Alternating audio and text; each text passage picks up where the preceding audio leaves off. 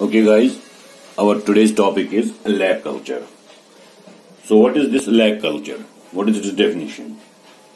So lac culture is the rearing of is the rearing of lac insects lac insects on their host plants host plants for production of for production of commercial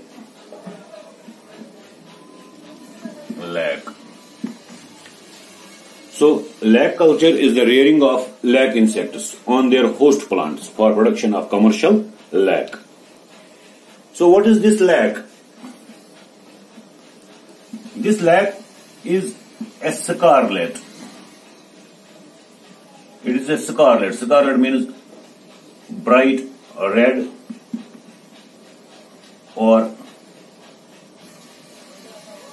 light orange. Light orange. Secretion is a scarlet secretion. Scarlet resinous secretion. It is a scarlet resinous secretion. Resinous secretion of lac insects. Of lac insects.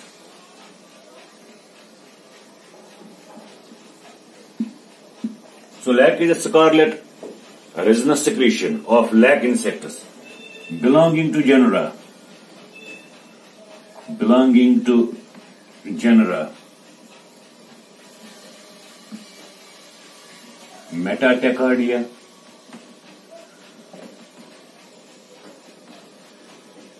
Metatachardia. Laccifer or it is also known as Kerria Laccifer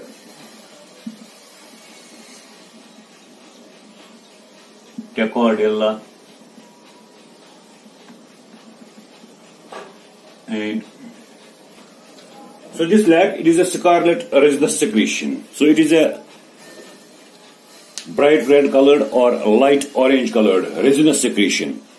Produced by lac insects belonging to genera Metatachardia Laccifer also known as Kerria Tachardiella and Austrotachardia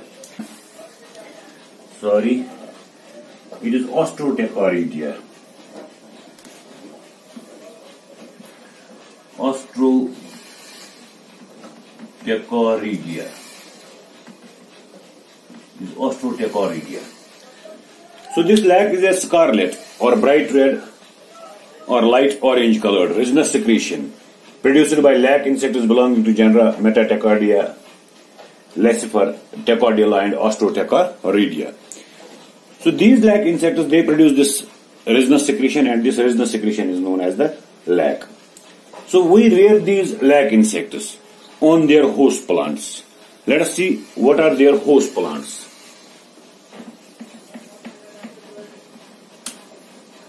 Host plants for these lac insects. So these lac insects, they are reared on their host plants. So what are the host plants for these lac insects?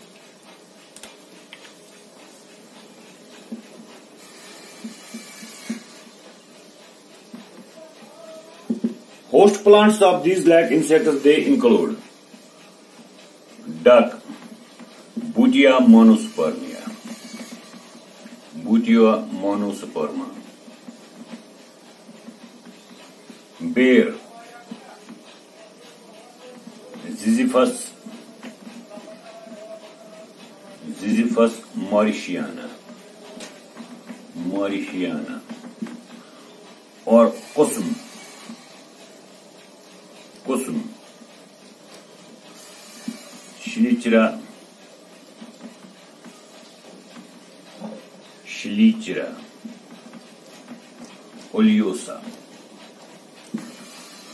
these are the three host plants on which these lac insects are reared and they suck the sap of these host plants and then they produce the lac, right? Lac insects which are reared on this kusum, Schleichera oleosa, they give the best yield. They give the best yield. So lac insects which are reared on, which are reared on, lac insects which are reared on, kusum, Schleichera oleosa, they give the best yield. They produce the most of the lac, right? So that is their host plants.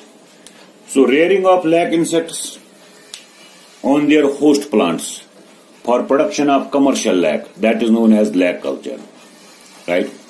These lac insects, they belong to different genera. And these different genera of lac insects, they are reared on their host plants. So their host plants include dhak, Butea monosperma, ber, Ziziphus mauritiana, Kusum, Schleichera oleosa. Highest yield is produced on this Kusum plant, Schleichera oleosa. It yields the highest quantity of the lac, right? Now we will see what is the taxonomic position of these lac insects. Taxonomic position of lac insects.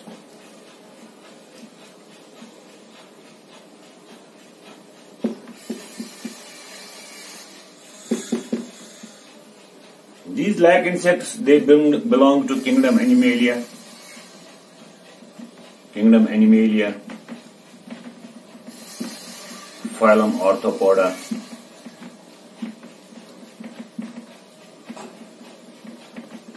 Class Insecta.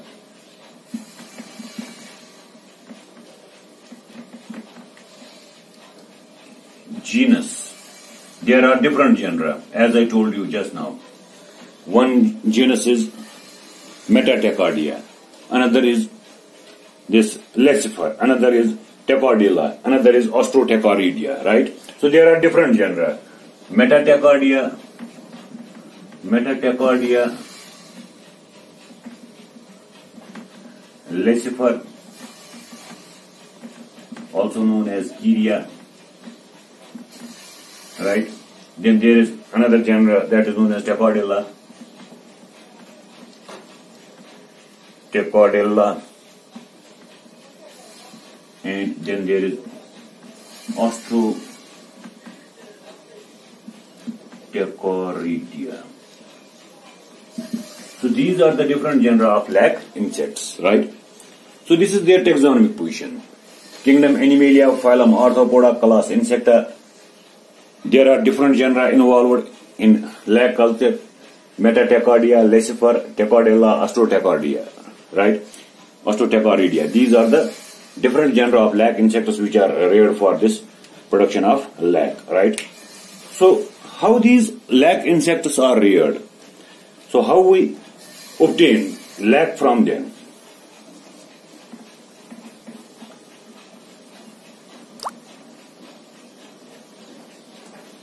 We will have a look at the life cycle of these lac insects.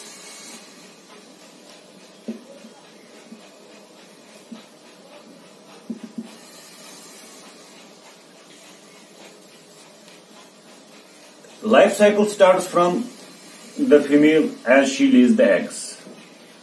A female lays some 200 to 500 eggs in small lac cells.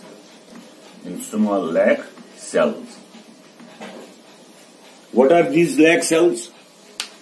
This is the accumulation of lac around a female. So female is buried inside this cell. Female is present inside this lac cell, right? She secretes the lac around herself and she forms a cell around herself. So in that lac cell, a female lays some 200 to 500 eggs. These eggs, they hatch within a few days. Eggs hatch into crawlers, crawlers, or we also call them as nymphs within a few days. Within a few days. So a female lays 200 to 500 eggs in lac cell. Then in that lac cell, these eggs hatch into crawlers or nymphs within a few days. These crawlers or nymphs, they come out of the hatch lac cell, come out of lac cell, they come out of lac cells and they migrate to, and they migrate to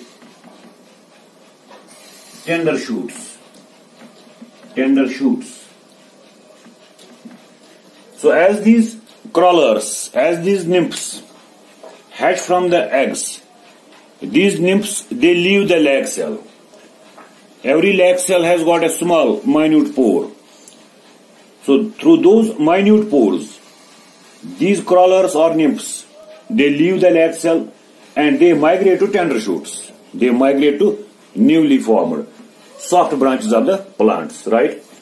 And they settle there, they settle on them, insert their proboscis, insert the proboscis, proboscis, and suck the sap. To suck the, to suck the sap. So as they start sucking the sap, so they are taking their nutrients, they are taking their diet in the form of this sap of the plant. So they insert their proboscis into the tender shoots, into the plant tissues and suck the sap. So this sap provides them nutrients and they start growing. They start growing. And with the process of growth, they also start producing lac around themselves. With the process of growth, they also start producing lac. They also start secretion of lac. So they suck the sap and they grow in size. They show growth. And in this process of growth, they start producing lac. Producing lac. They start secreting lac. So this lac is secreted from their hypodermal glands. Just below the cuticle, they have a layer of cells known as hypodermis. In that hypodermis, there are lac glands. There are lac glands in hypodermis. So from these lac glands of the hypodermis, they start producing lac. And this lac, it accumulates around them. This lac accumulates around them to form new lac cell, to form new lac cells. So these crawlers or nymphs, as they insert their proboscis into the plant tissue, they start sucking sap. So sap provides them nutrients for growth, so they grow in size. And in this process, they also start secreting lac from their hypodermal glands. So this lac secretes around them. They secrete lac around themselves. And this accumulation of lac around them, it leads to formation of new lac cells. And these crawlers or nymphs, they get buried under the lac which has, be, which has been secreted by them, right? So as they are feeding, they are taking the sap, so they become stationary. And their hypodermal glands, they start secreting lac. So this lac accumulates around them. And these crawlers or nymphs, they get buried in this lac. So this is the plant twig. This is the twig. So it is the crawler or a nymph. It is obtaining the sap from the plant. And in the meanwhile, it is also secreting lac. And this lac accumulates around them. And they get buried in this lac. So they form new lac cells. In these new lac cells, these crawlers or nymphs, they change into adults. They change into adults. And they differentiate into males and females. They are in separate cells. They differentiate into males and females. Then they start this sexual reproduction. Then these male crawlers, these male lac insects, they move over the female and they reproduce. Males come out of their lac cells and enter into the lac cells of the females and they mate. They mate. And after mating, a female again lays the eggs. Female again lays the eggs. And from these eggs, new crawlers or nymphs will be generated. New crawlers, crawlers or nymphs will be generated. It takes them approximately six months for completion of the life cycle. It takes them approximately six months for completion of the life cycle. So their life cycle begins with the eggs. Eggs are laid by the female. Female herself is enclosed in a lac cell. This is the twig. On this twig, there is a female lac insect. She has proboscis inserted and she is surrounded by her lac. So this is the lac cell. In this lac cell, female lays the eggs. Female lays the eggs. These eggs they hatch within a few days and they escape the lac cells. These lac cells they have got minute pores on them. These lac cells they have got minute, minute pores on them. So through these pores, the crawlers they escape from the they escape from the lac cells. And these crawlers they migrate to new branches. They usually prefer soft newly formed twigs. So they migrate to those tender shoots, right? And on those tender shoots, these crawlers settle down, they insert their proboscis and they start sucking sap. So as they are taking sap from the plant tissues, they grow in size. So they are growing. In the process of growth, they start secreting, they start producing lac from their lac glands. These lac glands are present in their hypodermis. So as they start producing lac, this lac accumulates around them and these crawlers, they get buried in their lac cells. So lac cell does not completely bury these crawlers. Some pores remain there for inhalation of the atmospheric air for the process of respiration. So they grow in, the, in these lac cells and they differentiate into males and females. Then a male leaves his lac cell enters into the lac cell of the female and it fertilizes the, it copulates with the female. So after reproduction, after copulation, then the female lays eggs again and from those eggs, new crawlers will be produced, which will migrate, which will infest other tender shoots, right? So in this way, their life cycle is completed just within six months. And in this way, their population is enhanced in very large numbers. So their populations grow on the host tree in very large numbers. So they infest almost all branches of the host tree. They infest almost all branches of the host tree, right? So this is how their life cycle starts, right? So life cycle starts from the eggs. Eggs hatch into crawlers. Crawlers migrate to new shoots, tender shoots.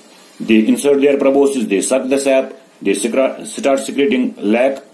They get buried in the lac. Then they differentiate into males and females.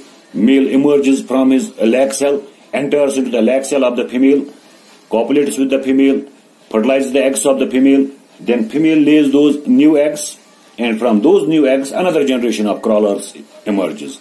And they again migrate to tender shoots and form the lac cells. So this is how their life cycle is completed. And their life cycle is completed within a period of six months, right? Now, how we obtain lac from these lac insects. How we get this lac from these lac insects? So for obtaining lac, for obtaining lac, how we obtain lac from these lac insects? So for obtaining lac, lac bearing twigs lac bearing twigs or pruned off. Or pruned off from the host tree. From the host tree. So those branches of the tree which are having lac cells on them, those branches of the tree they are cut by a pruning scissor.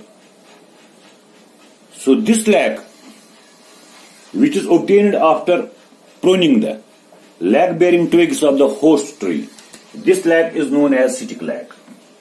So we get stick lac. We get stick lac in this process. So for obtaining lac from lac plants, lac bearing twigs they are pruned off.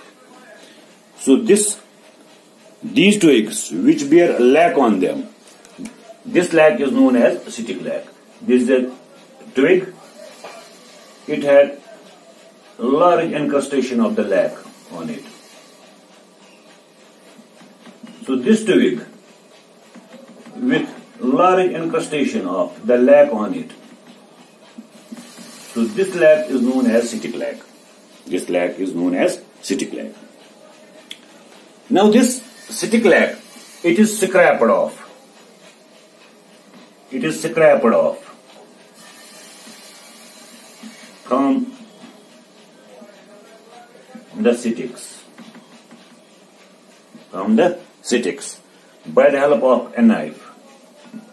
By the help of a knife. by the help of a knife.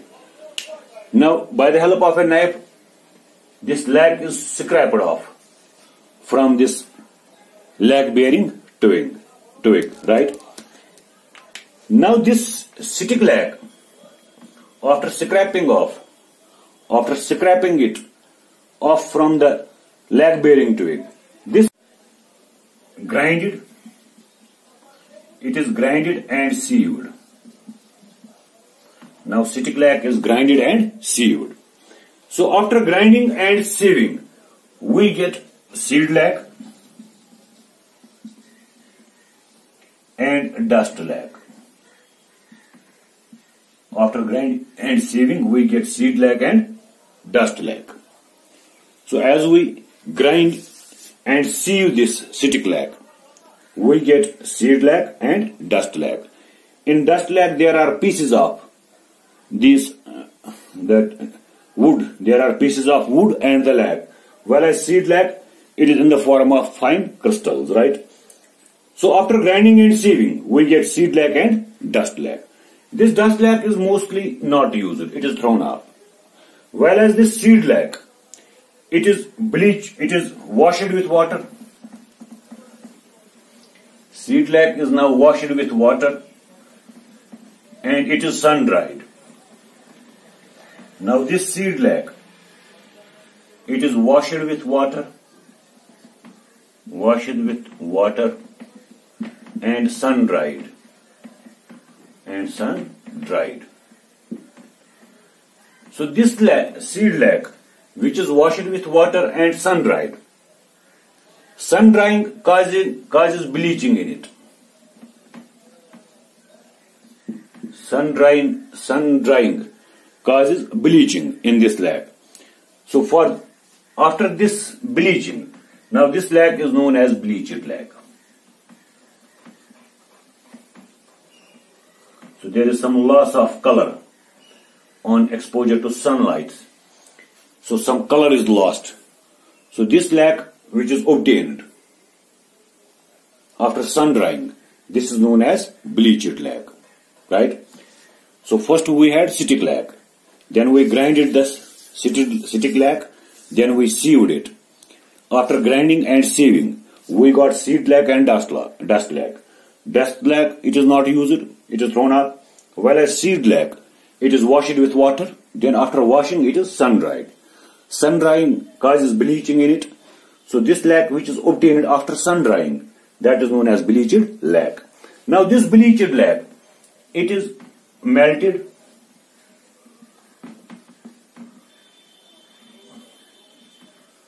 is melted by heating.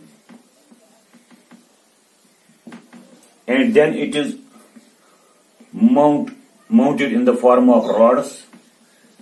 It is mounted in the form of flakes.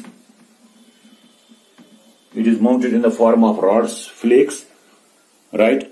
Or it is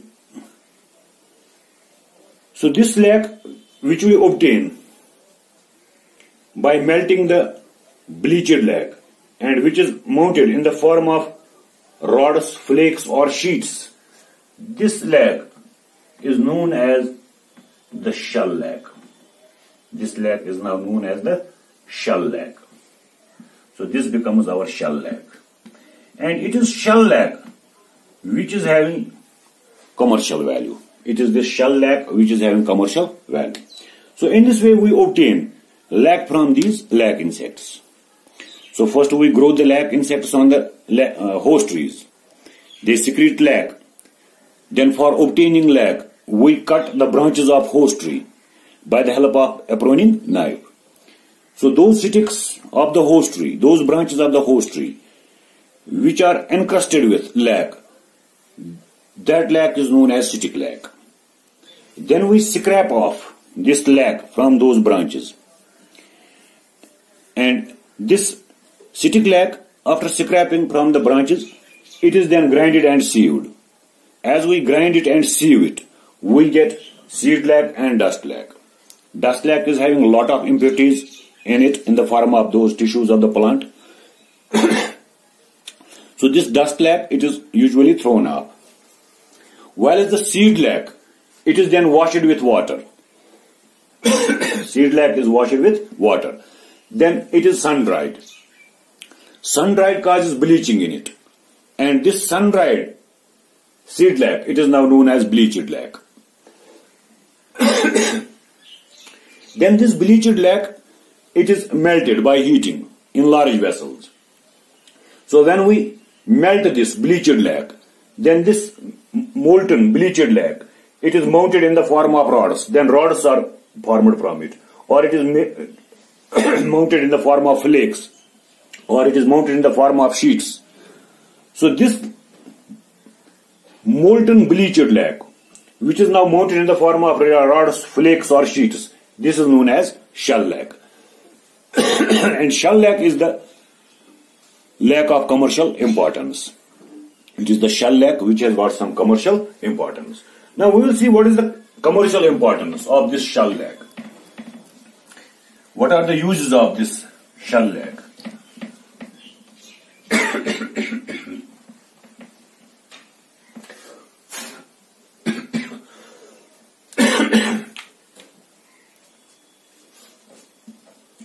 This shell lac, it is used in making of